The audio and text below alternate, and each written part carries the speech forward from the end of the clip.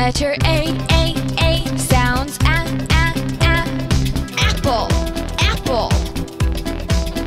Letter B, B, B sounds b, b, b. Bike, bike. Letter C, C